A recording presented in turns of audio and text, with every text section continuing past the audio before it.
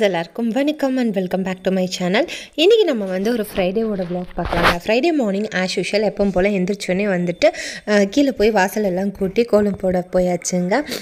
கோலம் போட்டு முடிச்சதுக்கப்புறம் தான் நெக்ஸ்ட் ஒர்க்கே ஸ்டார்ட் பண்ணுவேன்.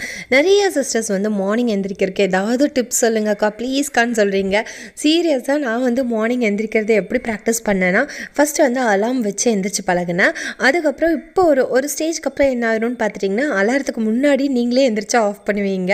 அந்த மாதிரி பழகிடுவீங்க ஸோ ட்ரை பண்ணி பாருங்கள் சும்மா அலாரம் வச்சுட்டு ட்ரை பண்ணுங்கள் அதே மாதிரி அலாரம் வச்சு ஃபோனு கிட்டே வைக்காதீங்க. ஏன்னா ஆட்டோமேட்டிக்காக எந்திரிச்சு கையில் ஆஃப் பண்ணிவிட்டு படுத்துருவோம். அதனால் உங்களை விட்டு கொஞ்சம் தூரம் டிஸ்டன்ஸில் வச்சுருங்க.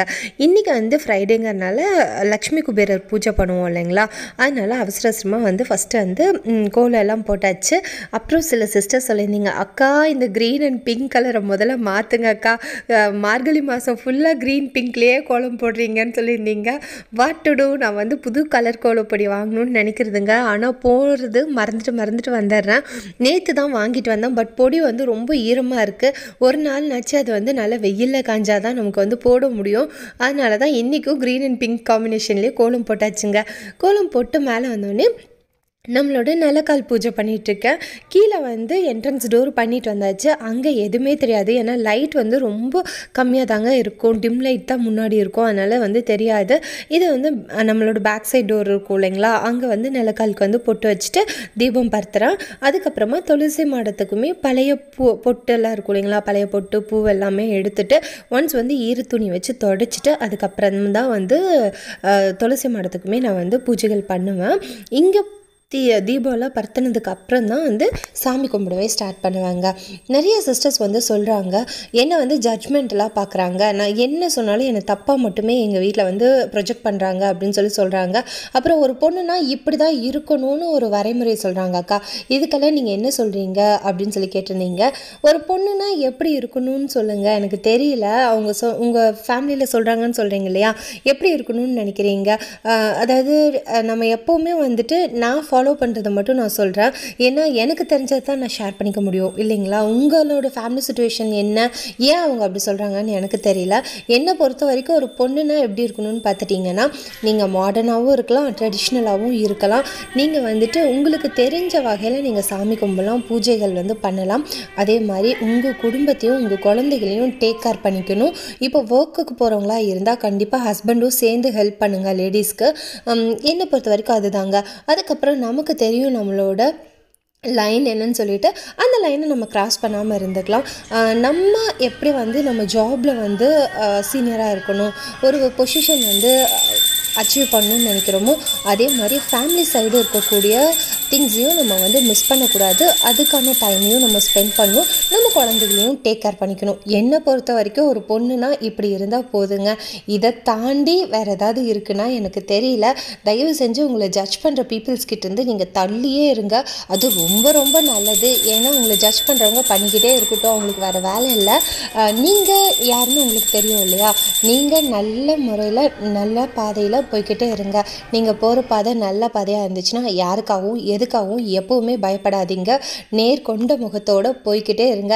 எவ்வளோ பிரச்சனைகள் வந்தாலும் அதை போய் பேசி உங்கள் எனர்ஜியை வேஸ்ட் பண்ணி சண்டை கட்டி உங்கள் பேரை கெடுத்துக்கிறத விட பாசிட்டிவ் சைடாக யோசிச்சுட்டு அவங்கள பார்த்து ஒரு ஸ்மைல் மட்டும் கொடுத்துட்டு நீங்கள் பாட்டுக்கு போங்க. உங்களோட முன்னேற்றமும் வளர்ச்சியும் தான் அவங்களுக்கு நீங்கள் கொடுக்குற பதிலாக இருக்கணும். அதை தாண்டிட்டு டிப்ரெஷன் ஆகுது எனக்கு வந்து டென்ஷன் ஆகுது என்னை ஜட்ஜ் பண்ணுறாங்க இவங்க யார் என்னை ஜட்ஜ் பண்ணுறதுக்குன்னெல்லாம் உங்களோட பொண்ணான நேரத்தை வந்து அதில் செலவிடாமல் உங்களோட பொண்ணான நேரங்களில் க்ரியேட்டிவாக பாசிட்டிவாக ப்ரொடக்டிவிட்டிவாக டேவை வந்து யூஸ் பண்ணிக்கோங்க. என்னை பொறுத்த வரைக்கும் நான் அப்படி தாங்க இருப்பேன். என்னை பற்றி யார் என்ன பேசினாலும் ஐ டோன்ட் கேர் ஈவன் நான் வந்து தப்பு பண்ணாத வரைக்கும். சப்போஸ் நான் தப்பு பண்ணியிருந்தால் அதுக்கு ரிக்ரெட் பண்ணுவேன். நான் தப்பு பண்ணாமல் அவங்க என்னை ஜட்ஜ்மெண்டெல்லாம் ஏதாவது சொன்னாங்கன்னா ஓகே அது உங்களோடத உங்களோட பார்வையிலேருந்து அப்படி தோணலாம் அப்படின்னு சொல்லிட்டு விட்டு தள்ளிட்டு போயிட்டே இருப்பேன். நீங்களும் அதையே ஃபாலோ பண்ணுங்கள் லைஃப் வந்து ரொம்ப ரொம்ப சின்னதுங்க.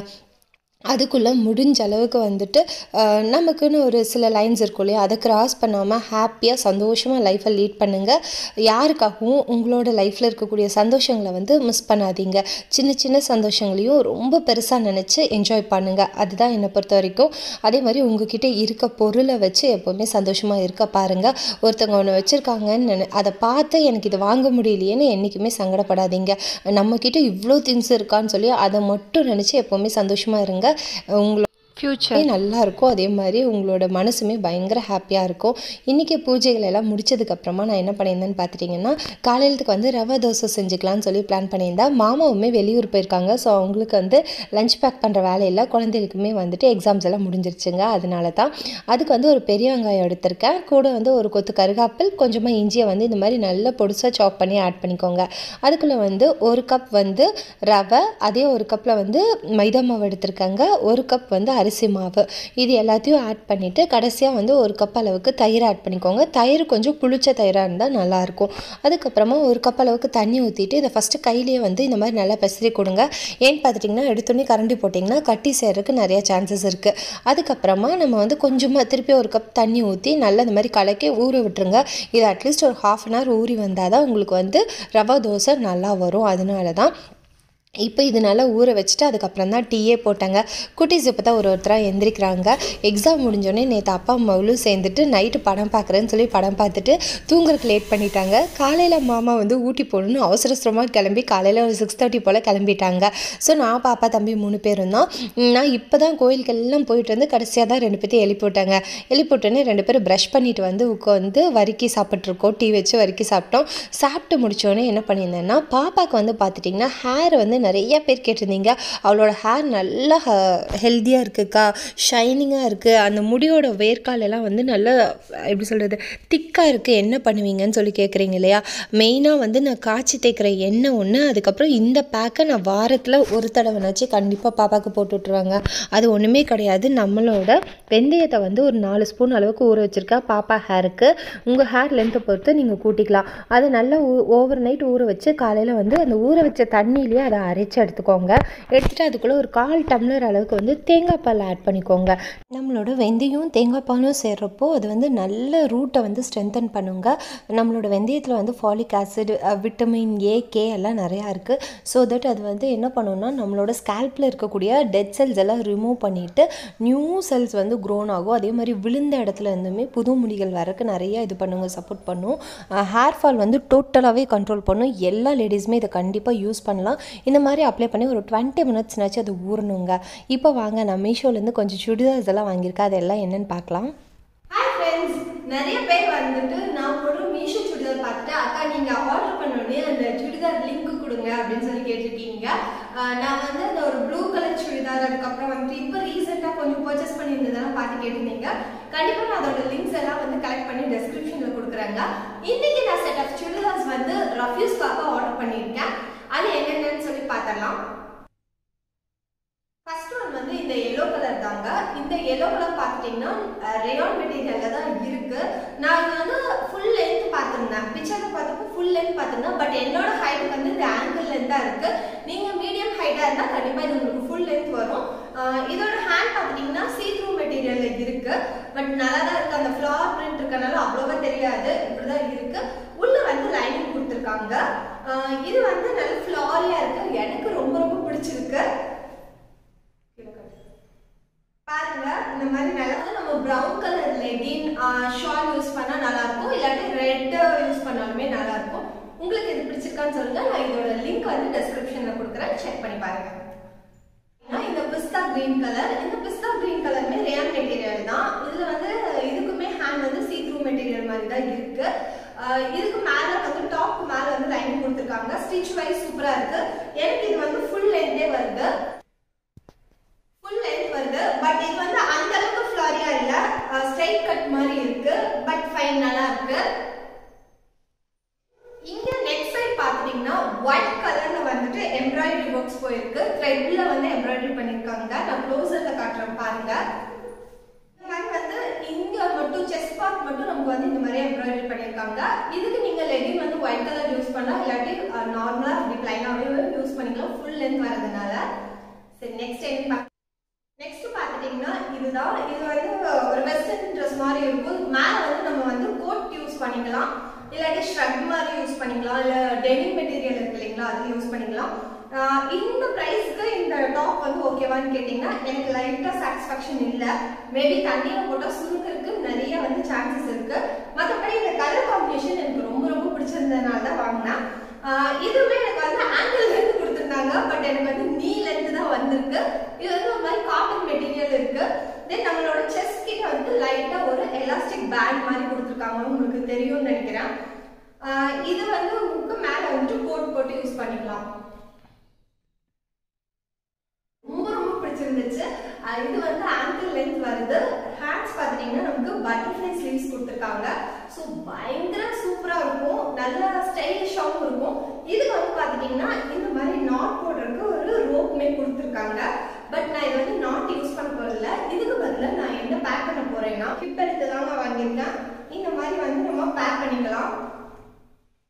இது நல்லா இருக்கு. நான் மீஷோல தான் வாங்கினேன் இந்த ப்ராடக்ட் ஆப்ஷன்ல கொடுக்குறேன். தென் இப்போ நான் வாங்கியிருக்க எல்லா டாப்ஸ் அண்ட் சுடிதார்ஸோட லிங்க் வந்து டிஸ்கிரிப்ஷன்ல கொடுத்துறேன் ப்ரைஸ் வந்து வீடியோல வந்து டினோட் பண்ணியிருக்கேன். பிகாஸ் நான் ரேண்டமாக வந்து போட்டிருந்தாங்க அதனால எனக்கு கரெக்டாக ரேட் வந்து ஞாபகம் இல்லை அதனால தான் இப்போ ஒரு ஹாஃப் அன் ஹவர் ஆயிடுச்சுங்க. பாப்பாவுக்கு நல்லாவே ஹேர் பேக் வந்து காஞ்சிருச்சு. இப்போ நல்லா குளிக்க வச்சுட்டு பாப்பாவோட ஹேர் எப்படி இருக்குன்னு சொல்லி காட்டுறேன் பாருங்கள் நீங்கள் உங்கள் வீட்டில் குட்டீஸ் இருந்தால் கண்டிப்பாக இதை யூஸ் பண்ணலாம். இதில் கெமிக்கல்ஸ் எதுவும் இல்லைங்கிறதுனால எல்லா ஏஜ் குட்டீஸ்க்குமே போட்டு விடலாம். இல்லை ஒரே ஒரு பிரச்சனை என்ன இருக்குதுன்னு பார்த்துட்டிங்கன்னா குளிர்ச்சி தன்மை அதிகமாக இருக்கும். அதனால் ரொம்ப நேரம் ஊற வைக்க வேண்டாம்.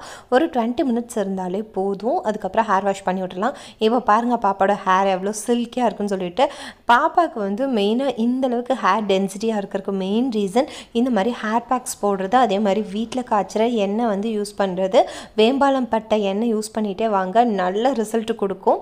மேடம்க்கு குளிச்சோன்னே பசிக்க ஆரம்பிச்சிருச்சுங்க.